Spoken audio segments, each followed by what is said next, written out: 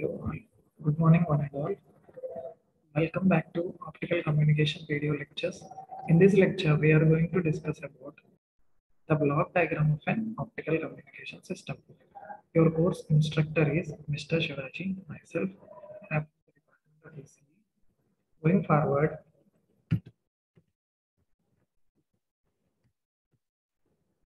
by the end of this session, you will be able to understand different blocks that an optical communication system is going to contain. What are the functions of those different blocks that are involved in optical communication system using an optical communication system block diagram. Okay, let us go forward.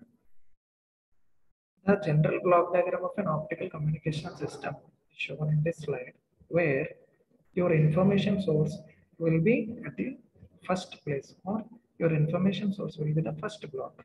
Okay, what are information sources? Information sources are the voice signal or the video signal that we produce. Okay, they contain the information. Hence, those are known as information sources. This information source is transmitted to is transmitted to a modulator. A modulator is a device which is going to perform the effect of modulation on the incoming information signal. This in why we need modulation? We need modulation because our information source is a weak signal. So it cannot be transmitted to long distances easily. So it will be modulated with the help of a carrier signal in order to provide more strength. With if after increasing the strength of the information source signal with the help of modulating signal, that is with the help of your carrier signal, we are going to provide into transmitting medium. In a general communication system, that means here, if we are discussing about general communication system, that means we are discussing about an electrical communication system. It will be two types, wired and wireless. So your transmission medium can be either wired or wireless. Now, from the transmission medium, your signal will be transmitted into receiver. That means at the end of, at the other end of the transmission medium, you are going to find receiver. In the receiver, we need a demodulator. Demodulator is used for removing the added carrier signal. That means after removing the carrier signal, we are going to have our pure or original information signal. And this information signal is transmitted to the destination. That means the user at the other end. That is, in general communication system, if we need to transform information from one user to another user, we are going to perform modulation. That is electrical signal is generated and this electrical signal is transmitted either through wired or wireless medium to the receiver. Receiver is going to demodulate. That means it is going to remove the carrier signal and this demodulation will be two types, coherent and non-coherent. Okay. And after removing the carrier signal, original information will be provided to the other user who is the destination. Now let us observe optical communication system. In this slide, you can observe the block diagram of an optical communication system. Here in the first block, we can observe that information source. Okay, information source is similar to that we have seen in the previous slide. Your information source contains any device which can produce voice or video signals or messages which can generate messages. Now this information source is provided to an electrical transmitter. Here a carrier signal will be added in order to change the frequencies or amplitudes in order to provide different modulation. And then this modulator signal will be provided to an optical source. In the next slides, you are going to learn about optical sources. Generally, your optical sources involve laser diodes and light emitting diodes. Okay. From the optical source, the optical signal is going to be coupled with a optical fiber cable. That means we are inserting your optical source emitting signals into the optical fiber cable. Now this cable is going to transmit that optical signal towards the detector. That means your transmission medium in this case will be your optical fiber cable. And then this information after reaching to the optical detector, optical detector is going to detect all the electrical information signal which is present in the optical form. And then electrical signal will be transmitted to your electrical receiver. Electrical receiver is going to perform the necessary operations in order to separate the information signal.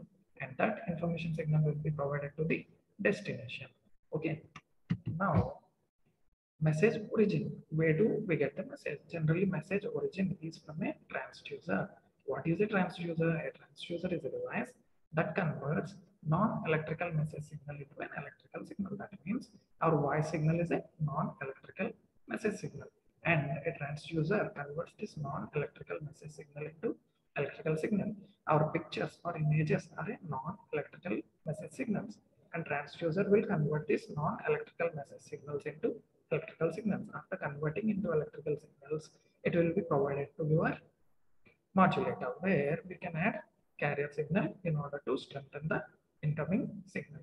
Now, what are the common examples that involved in converting these non-electrical signals into electrical signals? That means what are the transducers? What are the examples of transducers? Common examples include microphones for converting sound waves into your currents and video cameras for converting images into current. Okay. For data transfer between computers, the message is already in electrical form. When we are transmitting information from one computer to another computer, there is no need of a transducer because the information is already in electrical form. So there is no need to convert it into electrical form again. Okay. Next. In the block diagram, we have observed that we are using a modulator. What is the purpose of the modulator? Modulator has two main functions. That is, it converts the electrical message into suitable signal for transmission. That means it is going to provide the extra strength that is needed to travel long distance. It impresses the message signal onto the wave generated by the carrier source. That means there will be a carrier source at the modulator and that carrier source is going to provide a high strength signal. In that signal, in that carrier signal, your original information will be embedded. That means the carrier signal is modulated according to the parameters of your message signal. Okay, all the parameters of carrier signal will be varied in order to comply with your message signal. Two distinct categories of modulators used are analog modulation and digital modulation. That is, modulators are classified into two types. One is your analog modulation and the other one is digital modulator. Okay. Carrier source. In this case, since we are dealing with optical sources, as I said in the earlier slide, we are using two optical sources. They are light emitting diode, abbreviated as LED, and the other diode is laser diode. Okay. And carrier source generates the wave on which the information is transmitted. That means after from the carrier signal travels to the light emitting diode. Now this wave is called carrier. For fiber optic, a laser diode or an light emitting diode is used. What are the devices that are used in fiber optics to give the strength? Laser diode and light emitting diode. They can be called as optic oscillators. Here they are known as optic oscillators. They provide stable single frequency waves with sufficient power for long distance propagation. Why we need oscillators or modulators to provide signal strength or sufficient power for long distance communications. Okay. Now, channel couplers. Why do we need channel couplers? Once the signal comes out from your sources, light sources, that is LED or laser, it should be transmitted into the fiber properly. So we need couplers. Coupler feeds the power into information channel. What is the information channel that we are using here? Optical fiber cable. For an atmospheric optic system, the channel coupler is a lens. In an atmospheric optic system, the channel coupler is a lens. That is, we are using lens to transmit light from one side into from the source into the transmitter. That is your transmitting channel. Used for collimating the light emitted by the source and directing this light towards the receiver. What do you mean by collimating? Collimating is the spreading of the light rays. Okay. The coupler must efficiently transfer the modulated light beam from source to optic fiber. That is, what is the purpose of the coupler? Coupler should couple the light from transmitting source to optic fiber, which is the transmitting medium. It should be very efficient. The channel coupler design is an important part of fiber system because of the possibility of high losses. There is a possibility of very high loss at the coupler because it is the main device that is transmitting your information from transmitter to the transmitting fiber optic cable. That means if there is any leakage, we are going to lose information here. So it should be very important design. Design should be taken care so that losses are minimized. And we are going to see those designs at the unit number three. Okay. Information channel. Now, after the couple, we are going to deal with information channel. We are going to understand a bit about information channel. What is the channel? Channel is the path through which your signal will travel from transmitter to receiver or from one end to other. The information channel is the path between transmitter and receiver. In fiber optic communications, a glass or a plastic fiber is the channel. What is the channel in fiber optical communication? What is the medium that we are using to transmit light waves? Glass or a plastic fiber we are using to transmit our information from transmitter to receiver in case of optical signals. Okay. Desirable characteristics of information channel include low attenuation and large light acceptance cone. That means your channel should accept large light area. Okay, your channel should have good aperture so that it will accept whatever light that is coming. Okay, and then it should have a very low attenuation. If the attenuation is more, you are going to lose information. So attenuation should be low. Next point, optical amplifiers boost the power levels of weak signals these optical amplifiers are going to increase the power levels of weak signals so that they can transfer to longer distance. Amplifiers are needed in very long links to provide sufficient power to the receiver.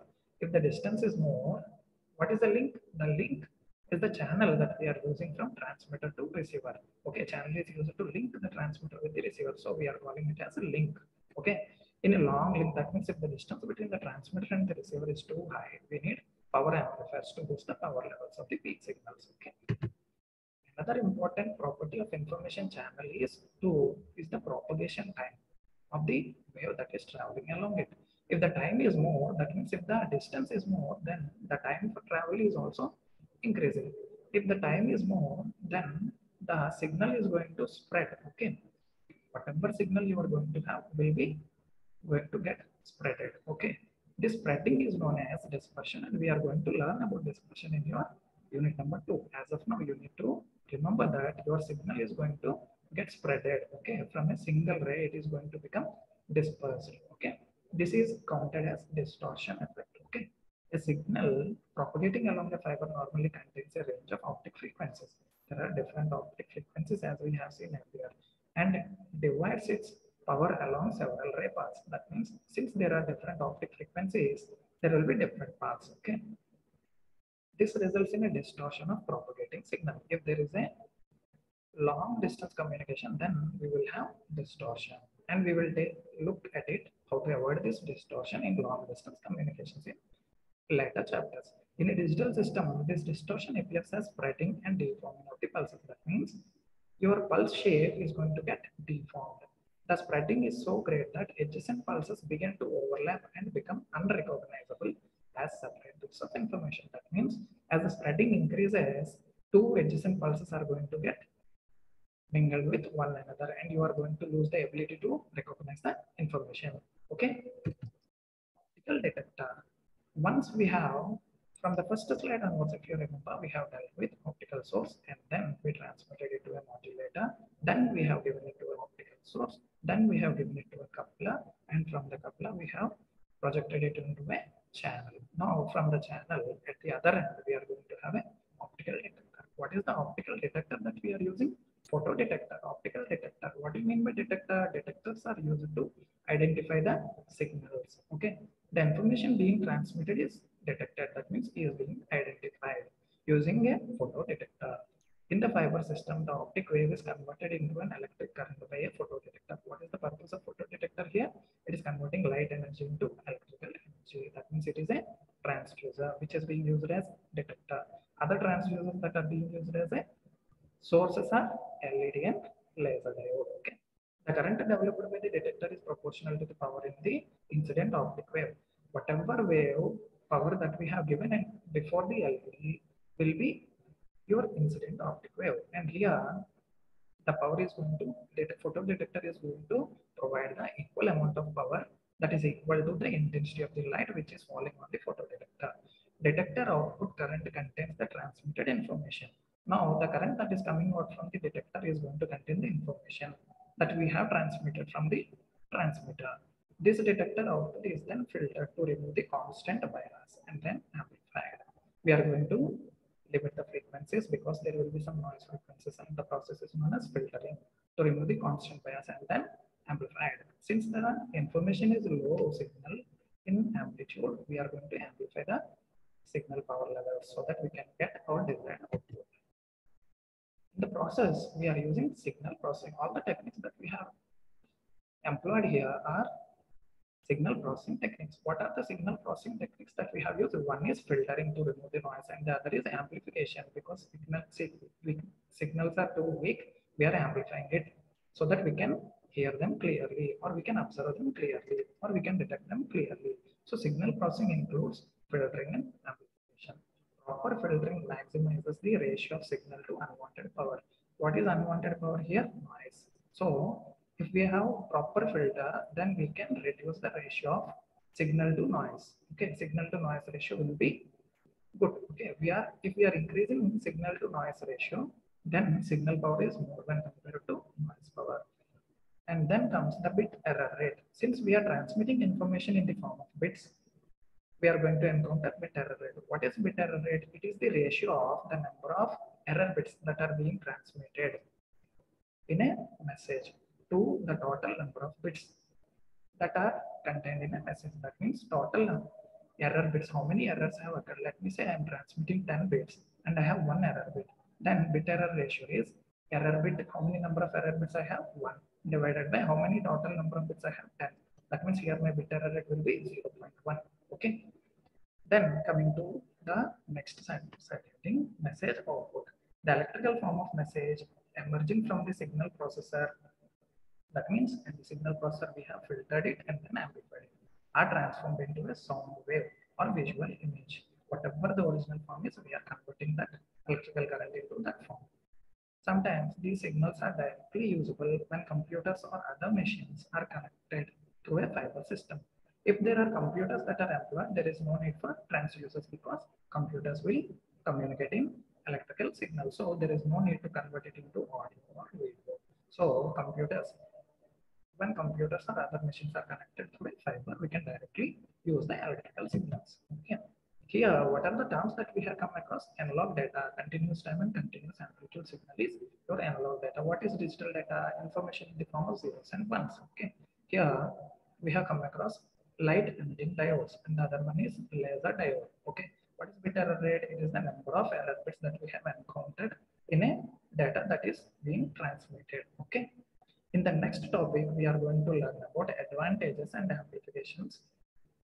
Sorry, advantages and applications of optical communication system. That means what are the advantages? Why we are going for optical communication system and where do we use optical communication?